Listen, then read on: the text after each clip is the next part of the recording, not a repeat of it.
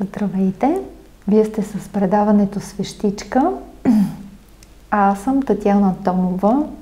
По професия съм кинезитерапевт. Асистент съм в Национална спортна академия в сектора спортни и източни масажи.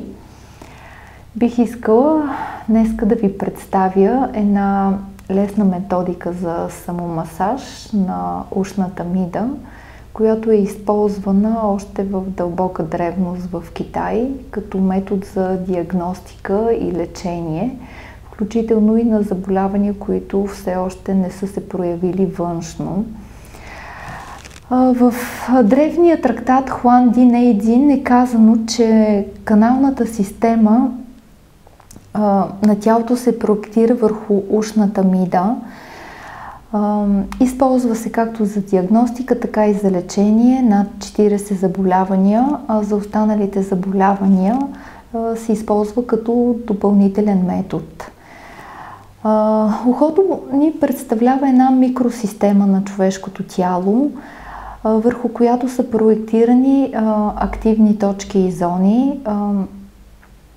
Има повече от 200 активни точки а, то представлява също така а, като, а, като микросистема, която отразява а, ембриона, ембрионът разположен в отробата на майката с а, главичката обърнат надолу и свити а, крайници.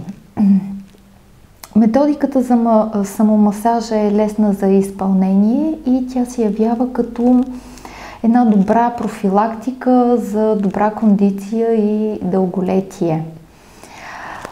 Бих искала първо да обясна малко за частите на ухото. Меката част на ухото, или това е лоболусът, представлява зоната на главичката, върху която са разположени съответно всички точки на а, лицето, а, главата и а, централната нервна система. А, ръба на а, ушната ръковина се нарича хеликс. А, Успоредно на нея изпъкналата хрущялна част, която се разклонява на две крачета е антихеликс. Върху антихеликса са разположени а, точки респективно на целия гръбначен стълб, на долните крайници върху горното кръче на антихеликса и върху долното кръче на антихеликса са разположени точки на седалището, седалищния нерв. А, между хеликса и антихеликса се намира ладиевидната лам, ямка, върху която са разположени точки на горните крайници. Между двете кръчета на антихеликса се намира триъгълната ямка, върху която са разположени зоната на вътрешните полови органи. Има също така и точка за психиката и точка за хронична констипация. Тази част, която а, затваря всъщност а, а, входа на, на ухото, се нарича а, трагус. А, срещу нея, срещу положно изпъкналата част се нарича антитрагус. А, върху а, трагуса са разположени точки, които имат отношение към а, жаждата, глада, за регулиране на тези процеси, също така за ларингс, фарингс, вътрешен нос – върху антитрагуса са разположени точки на главата и на централната нервна система на мозъка. Тези две ямки, които се образуват, се наричат конхи. Имаме долна конха, върху която са разположени органите, бял дроб, сърце, стомах и горна конха, където са разположени останалите храносмилателни органи, тънки дебели черва, дванедостопръсник, а, пикочен мехур, черен дроб и жлъчка. А, така, запознати с разположението на отделните а, точки и зони, а, ние а, въздей... чрез самомасажа въздействаме върху цялото тяло. А, масажа, за масажа трябва да сме разположени удобно, в седеж или в стоеж, да сме релаксирани. А, може преди а, масажа да се вдиша на няколко пъти за концентрация. Преди самия масаж започваме с потриване на дланите, така че да може силно да ги сгорещим и да стимулираме протичането на енергията. Масажа започва с а, меката част на ухото, лоболуса, където казахме е разположена а, главата и всичките зони по а, лицето. Започва се едно щипцевидно изтегляне отгоре надолу, като всяко едно движение обикновено се повтаря от 14 до 21 пъти. След като а, масажираме лоболусът, започваме масаж по, с палеца и показалеца в зоната на хеликс и ладиевидната ямка. Хеликс е зона, която отговаря за имунната система, така по този начин стимулираме и имунната система. Обхващаме зоната на горния крайник, при всякакви проблеми с нарушена двигателна активност, проблеми с малките стави. Първоначално при самомасажа на ухото може да имаме болезнени зони, които а, не е много приятно, когато минаваме през тях, но в последствие ухото става гъвкаво меко, добре се кръвоснабдява и тази болезненост изчезва.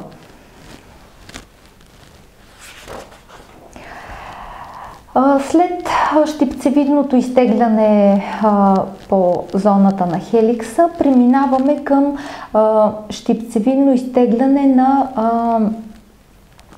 и плъзгане по антихеликс.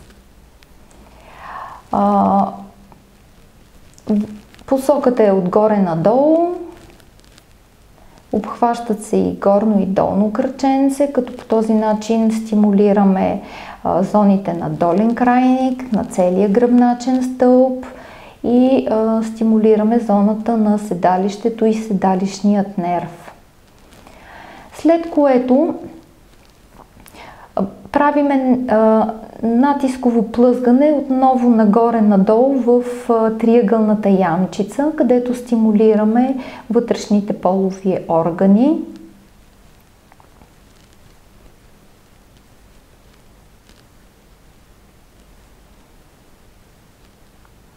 след което преминаваме на кръгово разтриване на конхите. Когато започваме с долната конха, посоката е отгоре, назад към черепа и в посока напред към лицето. Правиме кръгово разтриване с показалеца, като по този начин стимулираме а, сърдечната дейност, белодробната функция и зоната на стомаха и далак. След масажа на долната конха преминаваме към същото кръгово разтриване на горната конха. Посоката е същата от а, отгоре в посока към черепа и напред към лицето. Правиме от 14 до 21 кръга. Включително там, където усещаме болезнени точки, може да наблегнем малко повече и по-продължително да масажираме. По този начин ще стимулираме отслабената функция в конкретните болезнени точки. След което преминаваме на щипцевидно изтегляне на трагуса. Това е зоната, възвишението покриващо слуховия канал, Трагоса се хваща с палец и с показалец и от корена в посока напред се изтегля. По този начин ние стимулираме а, зоните на носа, фарингса и ларингса. Това е и зона, която е подходяща да се разтрива при грипни състояния, така повишаваме и съпротивителните сили на организма. След трагоса масажираме щипцевидно изтегляме отново с палец и показалец антитрагоса, отново в посока от, а, а, от основата на антитрагоса към върха му чрез изтегляне, като по този начин стимулираме зоната на главата. Често при а, така напрежение или главоболие се отразява също много ползотворно.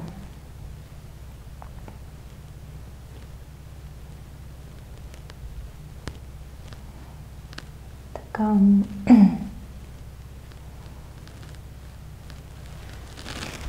След като а, завършим масажа върху антитрагуса, а, прилагаме а, триене на гръдната повърхност на ухото.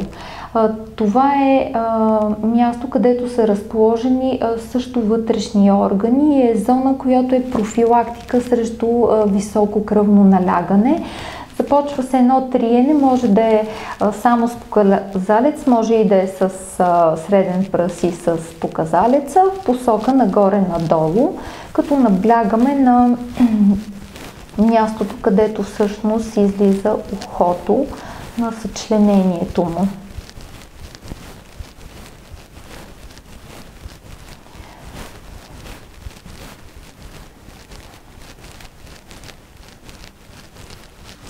След като обработим и гръбната повърхност на ухото. В китайския масаж само масажа на ушите завършва с няколко движения, които се явяват като профилактика. С лявата ръка хващаме върха на ухото и го изтегляме нагоре. Изтегляме го 14 пъти. След това повтаряме същото и с дясната ръка за лявото ухо. По този начин постигаме един добър профилактичен ефект върху функцията на бъбрека, тъй като самото ухо има бъбрековидна форма и слуха, това не и сетиво пряко е свързани с функцията на бъбрека. Следващото движение е пригъване на ушите, което става по този начин в предно-задна посока.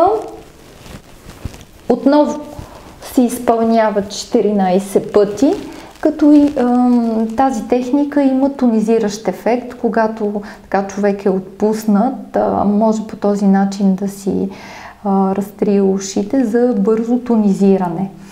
И последната техника е ам, притискане на ушите с почукване в тилната зона, което се извършва по този начин.